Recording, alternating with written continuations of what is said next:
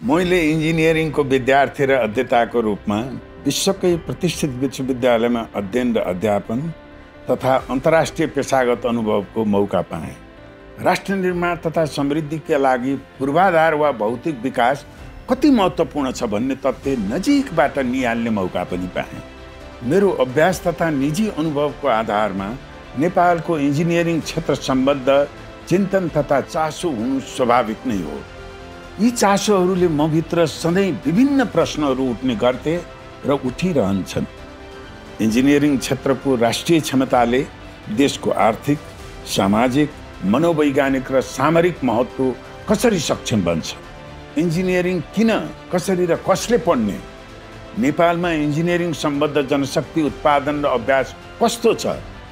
देशभित्रै engineering अध्ययन गर्दा यसले देश र समाज अनुकूलको पेसागत अभ्यास गर्न कतिको सघाउँछ कसरी इन्जिनियरिङ क्षेत्रलाई थप र राष्ट्रिय हित मैत्री मर्यादित र प्रतिष्ठित बनाउने?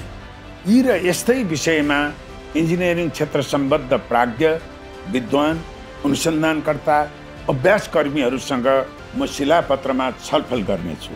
आउनुहोस् साझा प्रयत्न र प्रयासबाट इन्जिनियरिङ क्षेत्रलाई थप सबल सक्षम विकासको मूल प्रवाह तथा विश्व सापेक्ष बनाउन हातेमालो गरौँ।